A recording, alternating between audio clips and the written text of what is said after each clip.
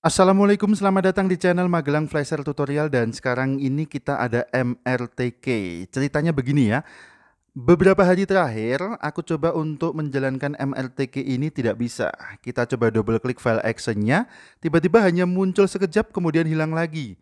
Permasalahannya di mana? Ternyata hanya dengan masalah koneksi yang kita gunakan saja. Bagaimana cara mengatasinya? Kebetulan di sini aku menggunakan koneksi internet WMS Telkom. Jadi aku menggunakan seamless, hampir sama dengan IndiHome ya. Ini produk dari Telkom juga. Tadi sudah aku coba di IndiHome sama, kemudian aku coba di WMS juga sama. MRT ini tidak bisa aku jalankan. Ketika aku klik MRT-nya, dia tidak mau muncul padahal koneksi bagus. Aku gunakan sinyal WiFi seamless di sini, bagus sekali untuk speednya tinggi sekali, tetapi MRT tetap tidak bisa kita jalankan. Untuk menjalankan MRT memang kita membutuhkan koneksi yang stabil atau MRT tidak bisa kita jalankan. Namun sudah menggunakan koneksi yang kenceng, tetap saja si MRT ini tidak bisa running, tidak bisa berjalan kita tunggu ini sudah muncul untuk tampilan programnya di navbar ya atau di taskbarnya. Ternyata untuk icon program MRT-nya ini langsung close begitu saja, tidak bisa berjalan. Tadi kita sudah coba beberapa file MRT tetap sama juga.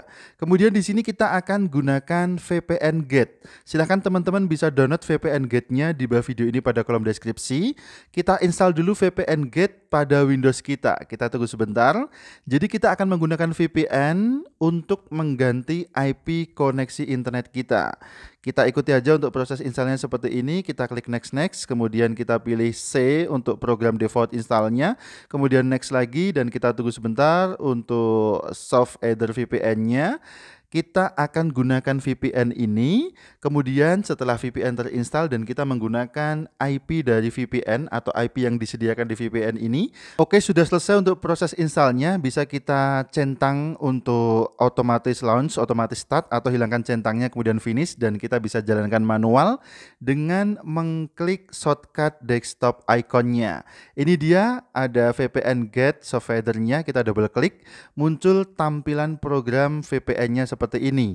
Kita bisa klik VPN Get Public VPN Relay Server ini akan muncul daftar atau list-list IP yang disediakan oleh VPN Get ini. Kita pilih yang line speednya paling tinggi. Kemudian kalau sudah kita pilih, kita klik connect to the VPN server aja. Kita tunggu sebentar. Klik do not show this message again. Kemudian klik agree. Kita tunggu sebentar. Kita pilih yang use recommended saja. Klik OK. Oke, sekarang sudah connect ya. Ada keterangan requesting an IP address. Dan ini dia sekarang sudah bisa connect ya. Jika ternyata tidak bisa connect, silahkan teman-teman cari list IP yang lainnya. Dicoba untuk konekkan kembali sampai berhasil connected seperti ini.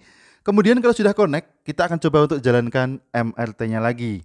Tadi kita sudah coba hampir banyak versi MRT dari versi 3.73 sampai 3.81 tidak ada yang mau berjalan sebelum kita install dan kita gunakan VPN ini.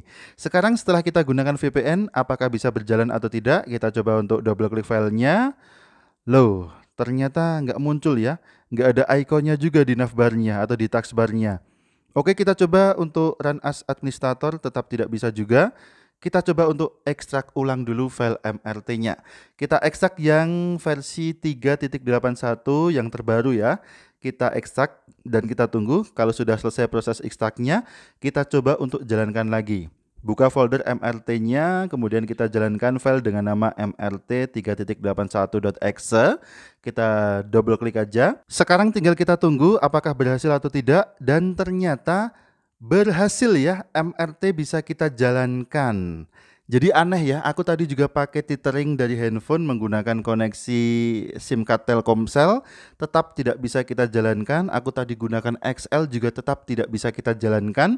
Aku pakai IndiHome nggak bisa jalan, aku pakai WMS Seamless juga tidak bisa jalan. Tapi aku gunakan VPN dengan IP luar negeri tadi IP Jepang yang aku pakai dan sekarang hasilnya MRT bisa berjalan. Kita coba untuk MRT versi yang lainnya apakah bisa kita jalankan atau tidak. Kita coba di MRT versi 3.80 kita double klik filenya Apakah bisa running atau tidak?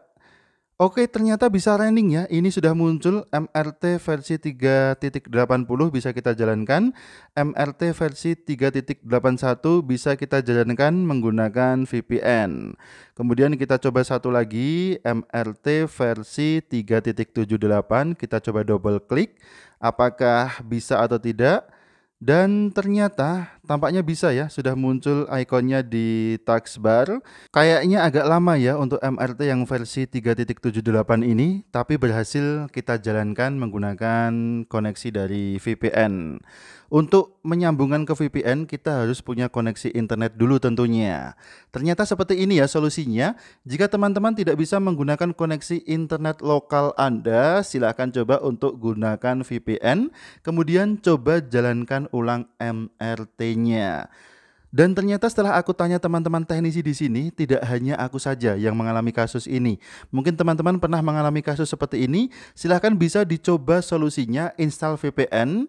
Untuk software VPN-nya aku menggunakan VPN Gate tadi dan menggunakan IP luar negeri. Kita gunakan tadi adalah IP Jepang. Oke, mudah-mudahan informasi ini bermanfaat dan membantu. Sampai jumpa di video selanjutnya. Ingat tetap jaga harga servisan dan akhir kata dari kami. Wassalamualaikum, tentu saja MRT mantap jiwa.